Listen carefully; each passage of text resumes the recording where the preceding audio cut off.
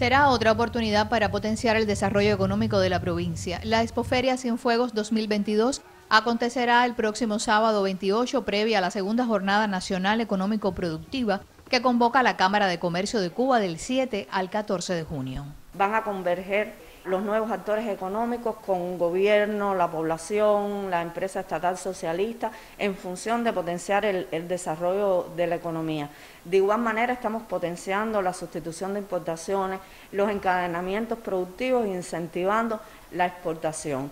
Tuvo como antesala ferias que se realizaron en los municipios, que esto sucede por primera vez.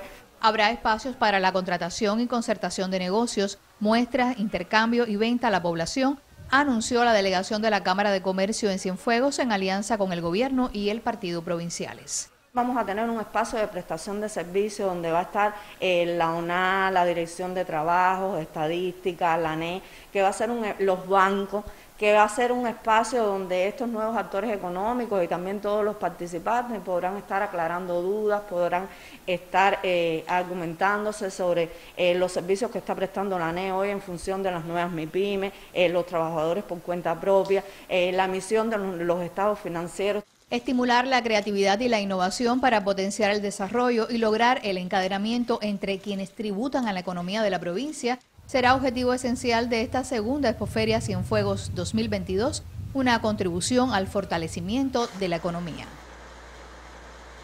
Ismari Barcia, Notisur.